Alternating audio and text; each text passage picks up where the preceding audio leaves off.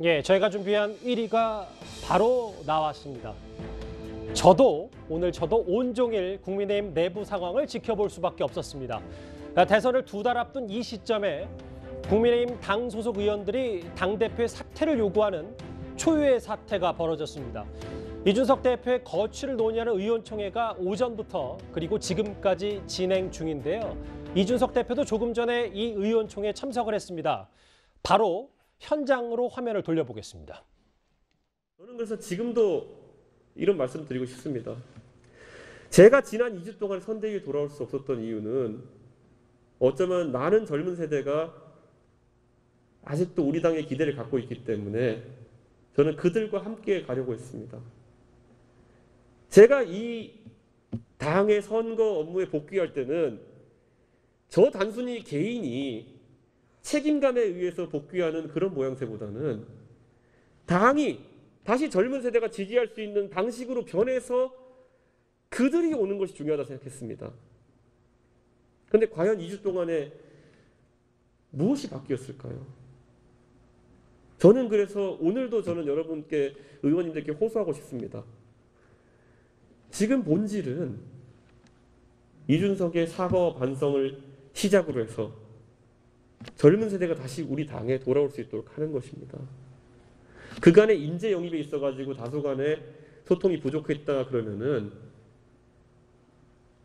제가 사과해도 됩니다.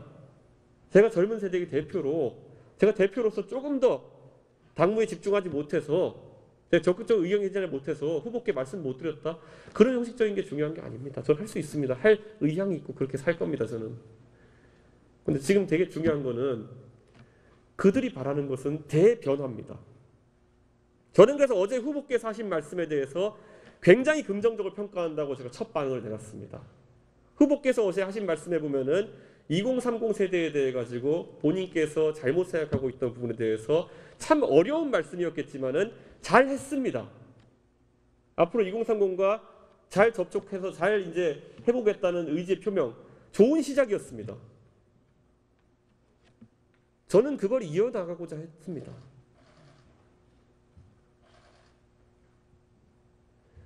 제가 언론에다가 당 안의 일을 밖에 말한다고 지적하는 분들 많은데 저는 결코 당 안의 일을 밖에다 이야기하지 않습니다.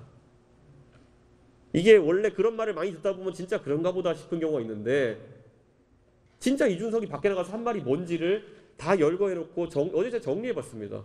신문기사 제목들 전부 다. 이준석이 선대위를 개혁하라 라는 말 외에 언론에 나가서 당 안의 일을 이야기한 바가 없습니다. 제가 우리 후보에게 제발 우리 후보는 정치 신인이기 때문에 국민에게 가장 낮은 자세로 갈 수 있도록 지하철 인사를 좀 해보자라는 제안 제가 여섯 번 하는 동안 단 한 번도 언론에 얘기 안 했습니다. 어제 공교롭게도 제가 어제 후보께서 그런 자세를 밝히셨기 때문에 한번 해보자고 제가 공개 제안을 하고 그리고 그것을 효과를 극대화하기 위해서 제가 마케팅 용어를 쓴 겁니다. 마침 권영세 선대본부장께서 오셨기 때문에 권영세 의원님께서 지금까지 풀리지 않았던 문제를 풀 수 있는지 연습 문제라고 제가 익살스럽게 표현했습니다. 그 표현이 불편하셨다면 정말 죄송합니다. 아닙니다. 제가 전 그건 정말 그 표현이 불편해서 죄송하지만요. 제가 이렇게 말씀드리겠습니다. 그 표현이 불편하셨으면 불편하다고 말씀하시면 됩니다. 그런데 그거는 비단 주머니와 같은 용어입니다. 기분이 나쁘실 수 있겠지만은 만약에 그것대로 이루어졌다고 한다면은 언론의 관심도가 높은 상황에서 후보와 저와의 공동 선거운동하는 모습이 보일 수 있었을 것입니다. 그러면 이제 제 의도를 아실 것입니다. 제 의도대로 만약에 들리지 않았단다면은 그것은 제가 표현을 정확하게 고르지 못한 불찰일 것입니다.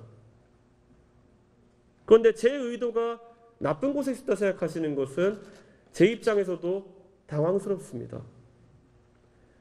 지금부터도 저는 마찬가지입니다. 우리 후보가 다시 한번 국민의 절대적인 사랑을 받고 지금보다 더 넓어진 지지층 구축하기 위해서는 저는 언론의 관심이 주목되는 많은 파격적인 변화가 있어야 된다고 생각합니다. 그 파격적인 변화는 오히려 후보께서 본인의 변화를 만들어내는 걸 그런 걸 이야기하기에는 너무 가혹합니다. 그리고 후보는 그런 존재가 되어서는 안 됩니다. 후보는 항상 우리 당의 최고 지도자로서 주변 사람이 만들어준 분위기 속에서 가장 옳은 선택을 할 수 있도록 우리가 여러 개의 판을 펼쳐야 되는 겁니다. 오늘도 저한테 만약 그런 판을 설계하고 준비하라고 한다면 저는 할 수 있습니다. 제가 지난 2주 동안에 3주 동안에 계속 제가 선거 업무에 참여하지 않고 있었던 이유는 저는 우리 후보가 파격적인 방법으로 다시 한번 젊은 세대 지지를 받기 위한 그런 태동을 했으면 하는 제 진심이었습니다. 이렇게 말씀드리겠습니다. 우리가 지난 서울시장 선거 이후로 우리에게 왔다고 착각했던 그 지지층은 4년 전에는 문재인 정부의 열렬한 지지층이었고 우리 당을 탄핵으로 내몰았던 지지층이었습니다. 그들이 가장 먼저 문재인 정부에게 의구심을 품고 반발했던 계기가 뭔지 혹시 아십니까? 평창올림픽 남북 단일, 단일팀 문제에서 왜 수년간, 십수년간 노력하면서 태극마크를 달기 위해 노력했던 우리 선수들의 의지를 나란 일 하자는데 당신들이 포기해라라는 가치만으로 꺾어버리려고 한다는 것에서 시작되었습니다. 저는요, 이번 선거 국면에서 이렇게 표현드리겠습니다. 저에게 많은 설득을 해주시고 저를 아끼는 많은 의원님들이 당내 갈등 상황을 조속히 해결하시는 바람 속에서 선당울사를 말씀하셨고 당을 위해서 이 대표가 마음을 접어주고 당을 위해서 이렇게 하자라고 하는 말씀이 제가 외람되게도 그 방법론에도 동의하지 않은 것들도 참 많았지만은 어쩌면 제 나이 때쯤 되면요 당을 위해 네가 희생해라라는 표현은 애초에 들리지도 않는 표현일 것이고 당을 위해서 무조건 따라라라고 하는 표현은 설득의 방법이 아니었을 겁니다. 제가 이 말씀 드리는 이유는 앞으로 우리도 마찬가지입니다. 지금 우리가 젊은 세대에게 최근 들어가지고 지지율의 고전을 겪는 이유는 그들에게 그들에게 와닿지 않는 명분 하나만을 내세우고 있기 때문입니다. 너 그래서 이재명 찍을 거야? 아니면 너 그러면 문재인 정부의 연장을 바라니? 너 정권 교체 안 할 거야? 이 말로 계속 접근했을 때 저희는 젊은 층의 지지를 회복할 수가 없습니다. 제가 이 말씀을 간절하게 드리는 이유는 뭐냐면은 우리 당이 최근에 40%대 중간 지지율까지 올라갔을 때 자유한국당 시절에 비해서 우리가 더 얻은 지지율은 젊은 층의 기대감이었고 젊은 층의 정치 참여에 대한 효능감이었습니다. 이렇게 말씀드리겠습니다. 만약 오늘 의원총회에서 존경하는 의원님들께서 의견을 모아서 이준석의 복귀를 명령하신다면은 저는 지정해 주신 어떤 직위에도 복귀하겠습니다. 예, 하지만 저희가 다시 그 스튜디오로 방식으로는 돌아오겠습니다. 이준석 대표의 의원총회 공개 모두 발언 잠시 한번 만나봤는데요. 아, 대략 5시 26분부터 이준석 대표가 마이크를 잡고 연설을 시작했으니까 지금 그리고 20여 분 정도가 지났습니다. 이준석 대표의 말들을 아, 대략적으로 종합해 보면 젊은 젊은 층 지지로 국민의힘 당 지지율이 상승했던 것이다. 그리고 앞서 저희 속보로도 나갔는데 인사권을 공정하지 않는 방식으로 한 적 없다. 혹은 윤석열 후보에게 던졌던 그 연습 문제의 단어가 불편했다면 죄송하다.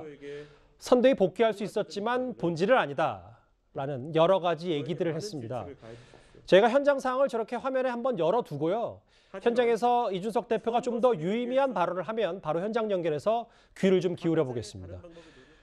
오늘 오전에 아, 의원총회에서 꽤 뜨겁게 격돌하셨던 박수영 의원이 여기 스튜디오에 직접 나오셨습니다. 일단 뭐 여러 얘기들 좀 해볼 텐데 먼저 어, 모두 발언을 시작했거든요. 이준석 대표가 대략적으로 박수영 의원님은 어떻게 들으셨습니까?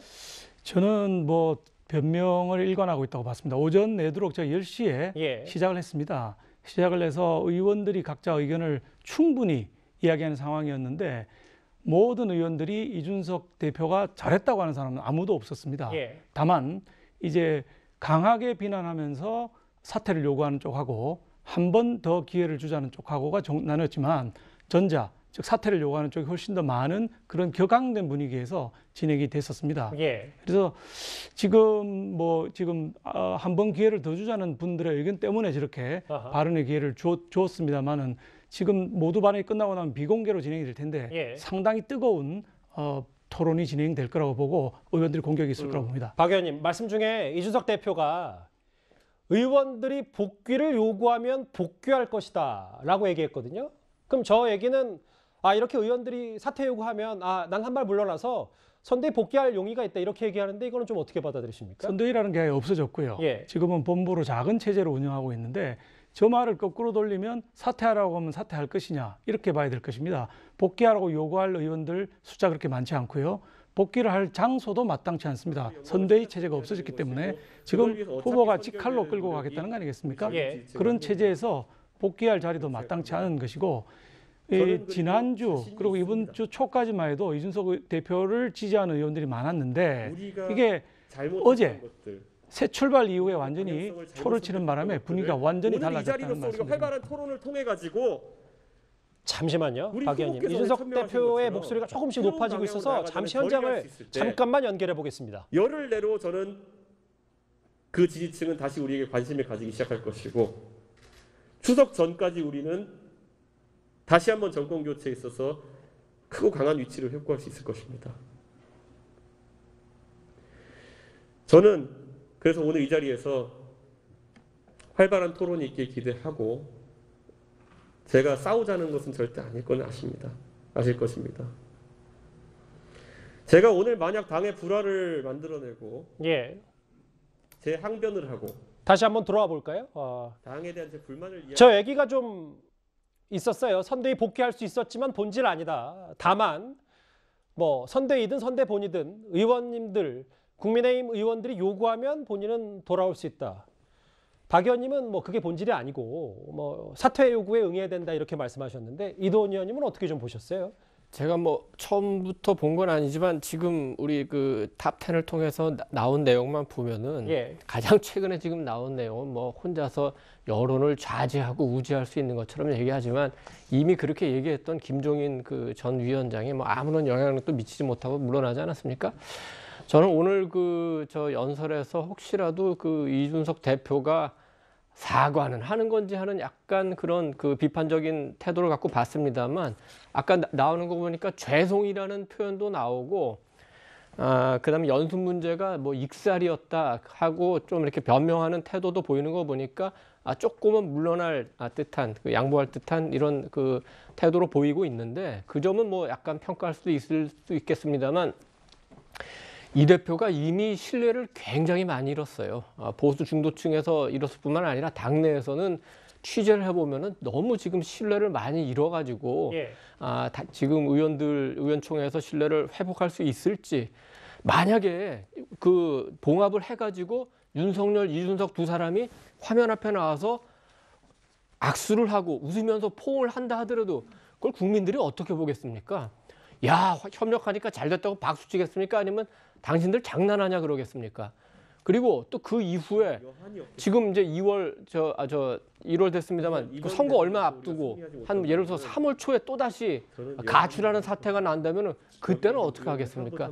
이런 근본적인 선거를 회의를 아직까지 그 이준석 대표가 아 다 저 해소를 했느냐 그 부분이 이제 의문인데 다만 더 중요한 거는 그럼 윤석열 그 후보가 이걸 이제 어떻게 받아들이냐겠죠. 예. 많은 분들은 사퇴시켜야 됩니다. 그 뭐 설사 그 대표에서 물러나지 않더라도 아 아무것도 못 하게 됩니다 이렇게 하겠지만 윤 후보는 또 선거를 본인의 선거기 때문에 조금 서- 그 얘기가 생각이 다를 수도 있죠. 일부라도 그 윤 후보 당신이 이준석 가랑이라도 겨야지 그 대, 대통령 되는 겁니다. 이렇게 하면 윤 후보는 본인이 대통령 되기 위해서 이준석 가랑이라도 기를 생각이. 있다면 또 협력하고 이런 태도로 갈 수도 있지. 뭐 않겠습니까? 자존심을 좀 버려라 이렇게 순화를 좀 할게요. 그렇습니다. 예. 그렇기 때문에 조금 만약에 의총에서 그 사퇴 결의가 나오고 또 뭐 어떤 결의가 나오더라도 윤 후보가 그거를 받고 그대로 할 수도 있지만 예. 의원들 그 여러분들의 뜻은 잘 알겠지만 우리가 승리하려면 그래도 손잡고 갑시다. 알겠습니다. 이렇게 할 수도 있고 의원들 여러분의 뜻이 정 그렇다면 더 이상의 분란의 소지를 막기 위해서 그렇게 합시다 할 수 있는데 아, 가장 중요한 거는 이제 윤 후보의 결정이라고 봅니다. 예. 뭐 여러 속보들을 저희가 하나하나 만나봤는데 어, 여기 계신 두 분 박수영 의원님과 이도원 의원님은 좀 비판적인 시각을 갖고 계세요. 근데 대략적인 이준석 대표의 오늘 모두 발언 메시지는 아, 본인도 윤석열 후보 당선이 정말 원한다. 정권 교체해야 된다라는데 공감한다. 이렇게 얘기를 하면서 지금 의원들을 설득하고 있는데 김관욱 교수님은 어떻게 보셨습니까? 이 감정의 골이 돌아오지 못할 강을 건넜다. 뭐 이런 생각을 지을 수가 없는 것 같아요. 이미 의원들도 어, 사퇴를 원하는 상황에 있는 것 같고 지금 대표 같은 경우는 뭐 복귀를 얘기하지만 사실 뭐 무조건적인 항복을 지금 안 하고 있는 거잖아요. 일단은 기본적으로 마이너스 정치를 하고 있다. 그러니까 어, 지금 김종인 어, 전 뭐 위원장도 지금 빼고 지금은 이준석 대표까지 빼고 지금 선거 기간에 통상은 우리가 더하기 정치를 하거든요. 그래서 힘을 이제 더 모아가지고 국민들에게 우리는 이 정도로 이제 확대되고 단합합니다. 뭐 이런 더하기 정치를 보여주는 건데 여기는 오히려 빼기 정치를 하고 있다. 특히나 이제 뭐 우리가 다 알죠. 어, 이준석 대표가 굉장히 톡톡 튀고 관리 잘 안 되는 거. 근데 그런 어떤 관리를 할 수 있어야만 하는 것이 또 대통령이라는 어떤 그 정치력이 담보돼야 되는 거거든요. 그 예. 자리라는 것 자체가. 그런데 지금 이 부분에서 두 명의 아주 중요한 어떤 어, 사람들을 때문에 빼고 이 지금 선거를 치르겠다는 것 자체가 사실은 조금 이례적이고 어, 뭐 받아들이기 어려운 부분이 있어요 지지자들한테는. 그래서.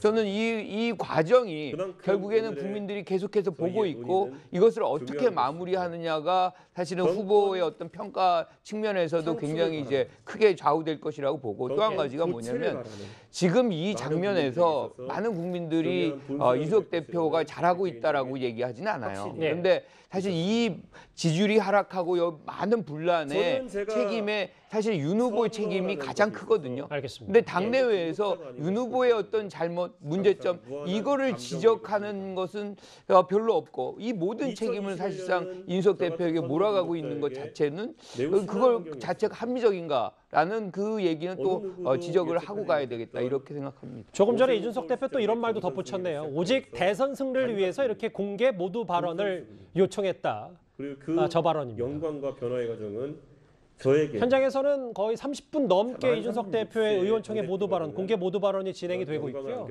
아, 이건 조금 전 화면입니다. 저는 근데 그러면 박수영 의원님께 그 의원총회 직접 참석을 했기 때문에 박 의원님께 직접적인 질문을 좀 몇 개 드려볼게요. 오늘 하태경 의원은 대선 승리 위해선 이준석 대표 사태가 도움이 안 되니까 세대 결합을 해야 된다. 이렇게 되면 세대 매장이 돼야 된다고 했는데 여기 계신 박 의원님이 좀 꽤 수위 높은 발언을 하셨더라고요. 사이코패스 뭐 이건 다 제가 읽지는 않겠습니다만 우리 당에도 있다. 당 대표라는 사람이 도운 게 뭐 있나? 뭐 선대이든 선대본이든 복귀 의사가 있는데도 일단 박 의원님은 이준석 대표 무조건 물러나야 된다고 보시는 겁니까? 선을 넘었다고 보는 것이죠. 예. 어, 울산 회동 때까지만 하더라도 저희 당 의원들이 많이 지지를 했고 그래서 기대를 많이 했고 그러다가 지지율 빠지고 나서 이- 우리 후보께서 예. 윤 후보께서 혼자 홀로서기 하겠다고 어제 말씀하셨지 않습니까? 네. 그럼 모든 당원들 대표를 포함한 당원들과 의원들이 후보를 중심으로 결집이 돼야 됩니다. 후보에 딴지를 걸지 말고 아하. 새 출발하는 걸 축하해주고 거기 동참을 해야 되는데 바로 그날 그날 동참을 하지 않고 초를 쳤거든요. 예. 그 그런 일들에 대해서 의원들이 굉장히 분개를 하고 있고 아주 수위가 높습니다. 제 발언도 사실 비공개 어, 의총이었기 때문에 상당히 수위가 높게 발언이 됐지만 저보다도 수위 높게 발언한 의원들도 있고 예. 상당히 많은 의원들이 그 격앙하고 있다. 이게 지금 분위기라는 말씀을 드립니다. 예. 앞서 비공개 의원총회 수위가 높은 내기 다른 의원들도 그런 메시지가 있었다고 말씀하셨는데 네, 네. 어, 김기현 원내대표도 더 이상 이준석 대표 연행 감찰 방법이 없다. 추경호 원내 수석 부대표는 당대표 변화 없다고 했고 김태흠 의원 얘기이신 것 같은데 연수 문제라는 표현이 오만 방자했다. 그럼 물론 박 의원님이 현장에 직접 계셨으니까 아, 대략 몇 대 몇 정도로 이준석 대표의 퇴진 요구가 높았다고 보십니까? 이준석 대표가 잘못했다고 하는 건 100%고요. 잘했다고 하는 사람은 아무도 없습니다. 정말 아무도 없습니까? 어, 아무도 없습니다. 퇴진 요구는 아, 심지어 하태경 경우까지도 잘못했다. 그렇지만 2030을 감싸기 위해서 우리는 어쩔 수 없다는 실리론을 펼친 것이지 아하. 잘못하지 않았다는 얘기를 하지 않았고요. 예. 그 다음에 뭐 전체적으로 보면 4분의 3 정도는 즉시 사퇴해야 된다. 이런 입장이고 4분의 1 정도는 그래도 대선 승리를 위해서는 예. 안고 가야 되지 않느냐 또는 한 번 더 기회를 줘야 되지 않느냐 이래서 지금 한 번 더 기회를 준 것이 공개 발언이 되는 것입니다. 아, 그러면 대체적으로 뭐 사퇴 즉각 사퇴해야 된다 말아야 된다는 조금 나뉠 수 있어도 이준석 대표가 잘못했다는 거에 대해서는 다 공감을 아, 그 했다. 잘했다고 말하는 사람 한 사람도 없었습니다 발언에. 예. 혹시 저 지금 있었던 모두 발언 이후에 의원들의 분위기가 좀 변화가 있을지는 않을까요? 저는 상당히 어려울 거라고 봅니다. 오전에 제가 참여했던 의총 어, 분위기로 봐서는 저런 발언으로 의원들 하기는 어려울 것이다. 돌리기는 어려울 것이다. 이렇게 봅니다. 예. 근데 이제 선대 본에 예를 들어 지금 뭐 권영세 선대본부장도 있고 원희룡 정책본부장 혹은 지금 조직들이 갖춰져 있지만 사실 선대본이라고 아무리 슬림하다고 해서 자리 하나 만드는 게 그렇게 어려운 일이 아니라면 이준석 대표가 아, 내 사퇴를 요구를 하고 있지만 어, 국민의힘 당 소속 의원들이 저에 대해서 복귀를 원하면 복귀할 수 있다. 뭔가 더 큰 정권 교체를 위해서라면 전향적으로 이준석 대표의 복귀를 검토할 수 있는 거 아닙니까, 의원님들이? 그러려면 본인이 진정성을 보여야 됩니다. 울산 회동 이후에 다 정리될 줄 알았는데 안 됐거든요. 다시 말해서 본인이 백의종군하겠다. 즉 대표를 물러나고 백의종군하면서 선대위에서 돕겠다는 정도의 아, 살신성인의 자세가 필요한 것이죠. 울산 회동 이후에 얼마나 많이 우리 실망했습니까? 기대가 무산됨으로써 실망이 엄청나게 커졌던 것이거든요. 다시 그런 일을 안 한다는 보장이 없는 것입니다. 예. 며칠 되지 않았는데 선거 60일 남았는데 만약에 구정 전후로 또 다시 그런 일이 벌어진다면 설 전후로요. 어 그렇죠. 설 전후로 하게 되면 걷잡을 수가 없게 되는 것이죠. 그러니까 이번 기회에 아예 정말 어, 대선 승리를 위해서 자기가 기여하겠다고 하면 백의종군 해야 된다고 생각합니다. 아하. 사퇴하고 예. 선대위에서 일정한 역할을 맡아야죠. 근데 자진 사퇴 말고는 사실상 방법이 없다면서요. 법적으로는 뭐 세 가지 방법이 있는데 당원 소환, 소위 예. 그다음에 윤리위 회부, 예. 그다음에 뭐 최고위원회 기능을 정지시키는 방법이 있습니다. 예. 근데 다 세 개가 다 시간이 걸리는 방법이기 때문에 자신 사퇴를 정치적으로 이제 저희 의원들이 요구를 하는 것이죠. 박 의원님, 그 의원총회 참석하셨던 의원님 신분 말고 그냥 객관적으로 봤을 때 그렇다고 이준석 대표가 사퇴를 하겠습니까? 안 할 거라고 봅니다. 다만 법적으로는 사퇴를 못 하더라도 정치적으로는 고사를 시킬 수 있는 것이 최고위원들이 우리 의원들이 들어가 있지 않습니까? 예. 의원들 세 분이 사퇴를 해버리면 최고위원회 기능이 정지가 됩니다. 바로 그런 걸 통해서 정치적인 고사를 시키는 것이죠. 예.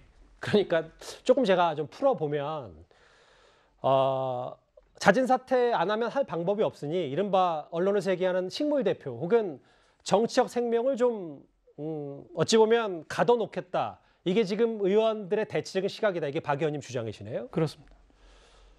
그러면 당대표, 식물대표 혹은 뭐 정치적 생명을 좀 가둬놓겠다. 이게 정권 교체 정말 두 달 앞두고 큰 도움이 되는지에 대해서는 여기에 또 의견이 이, 이견이 있지 않겠습니까?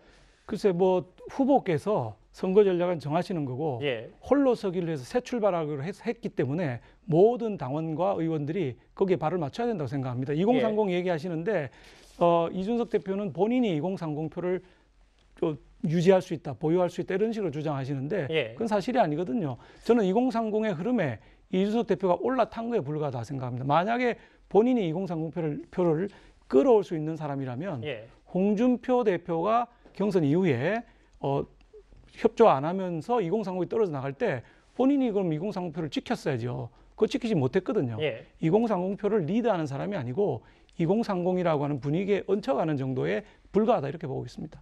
아, 그러니까 청년층의 표가 이준석 대표 전유물이 아니다 이 아, 말씀이시죠? 그렇습니다. 예. 박 의원님 뭐 여러 질문을 드렸는데 일단 저 오늘 제일 궁금한 게 오늘 심경이 어떠십니까?